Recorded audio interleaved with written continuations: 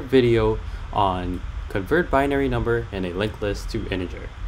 This problem, we're dealing with a linked list and essentially we have to convert, so this, there is a number that's associated with a linked list where every node represents a digit in the linked list and we have to convert that representation of that number into an integer.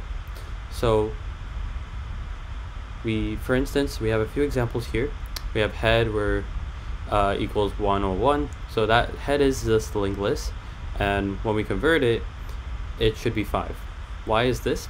Because if we take the binary representation so if we connect the numbers together 101 it'll be 101 and convert that into base 10 it's 5 because you see uh yeah yeah if you convert that and the same will be for the rest. No matter how big you get, you have to convert this whole big number um, into, just imagine that this is just a number, and then you convert that binary number into a decimal number.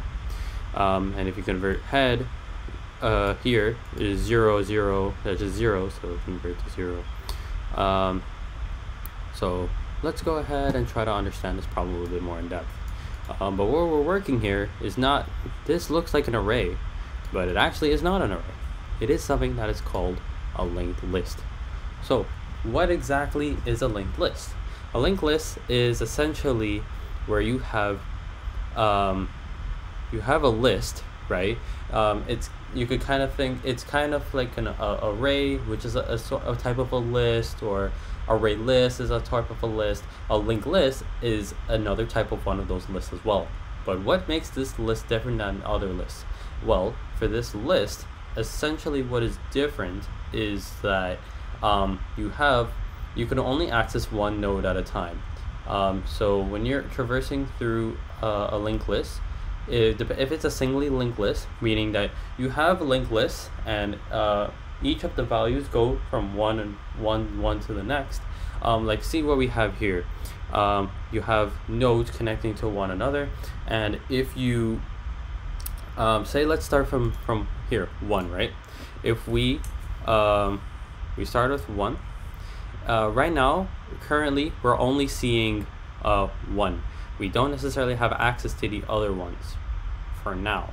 Um, but we can right now we can access two things. So a node is made up of two values. One of them is the actual val where a val is the current um, yeah, value or a thing that's associated in that specific position. So for instance, when you have a, an array, you have indices that are filled up with different values, whether they be strings, whether they be arrays, or whether they be booleans, they can be filled with anything. And that's the same thing for a linked list. They could be associated with different values uh, or different types of values. Um, and as well, when you are currently at a node, you have something uh, which is called a next. A next is what is it's what essentially makes a linked list a linked list. What do I mean by that? Well, a linked list, there are nodes that are linked with one another. And if you want to you want to go to the next node, you need to look to the next variable and then get that node uh, and you can access that node by calling the next node for that node essentially. So you go to the next one. So for instance, if we were to call, if we were, so right now, let's say this is our node, right? Let's say this is a node. Uh, if we want to go to the next one, we would do, and this would, this would be node dot next. And if we want to go to this one, from this perspective, we do node dot next next. So that's essentially how a linked list works. And essentially for this problem, our main thing that we have to do is traverse through the linked list um, and be able to um, find the whole number and just convert that essentially, which can be done with a library depending on what language that you're using.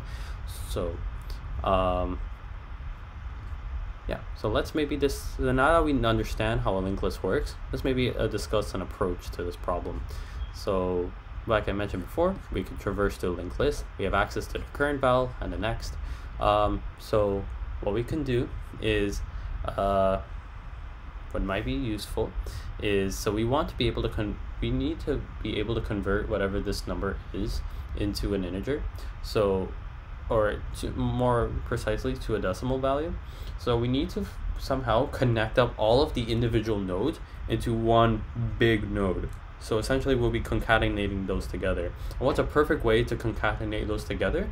Well, what we can use is every time that we're currently on a node, we can put those together in a string value. And we can add those in, in terms of a string. Um, so what we could do here is um, s, where s is a string. So let's do our pseudocode here. s is equivalent to an empty string, right? Um, and what we'll do is while head so no not equal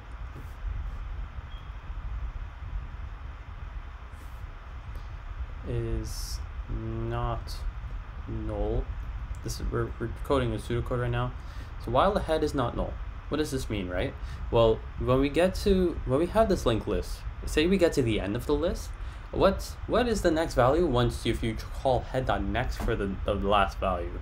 Well, essentially, that would be um, that that would be it would be null because there's nothing after that. So if you're trying to traverse through a whole linked list, you need to go until the value is null, in a sense, in essence.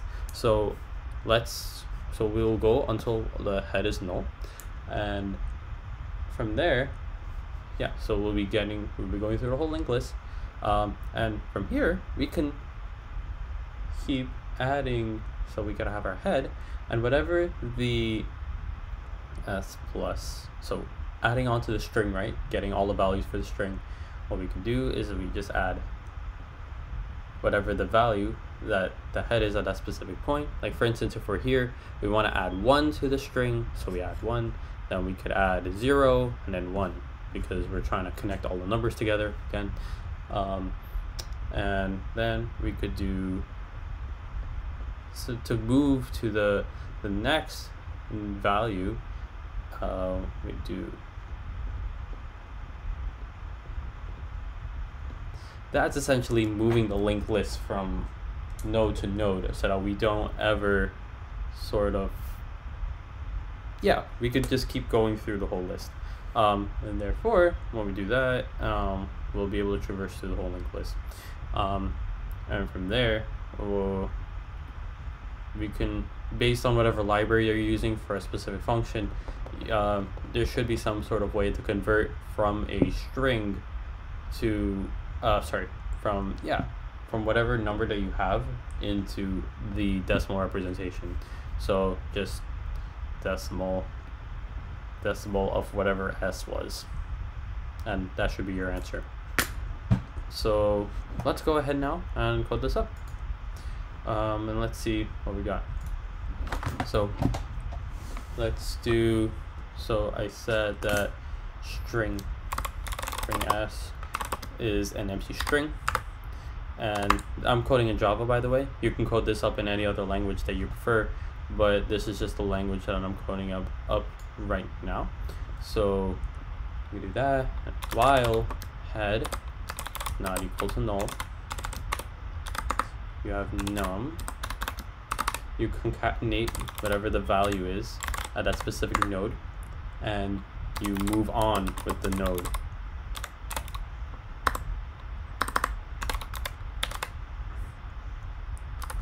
And yeah, so then by doing this, you will have concatenated the whole uh, string of all of the individual values from, from the linked list into one big string. And in Java, what you can do is if you want to convert a binary string um, into a decimal, all you have to do is integer, not value of, uh, the number or string uh, which I also wrote here, it's just BS, um, to the power of 2. And that'll get you the result that you want. Let's run it real quick. Submit. Perfect. It works exactly as expected. Yeah, thank you all so much for uh, watching this video. If you liked it, please make sure to like it and uh, give it a thumbs up. and comment on the um, comment section below what you think. And make sure to subscribe to our channel and uh, follow us you know uh, um, be a part of our discord if you want to get more help for solutions uh, and problems like these and if you want to get better at programming in general. Thank you so much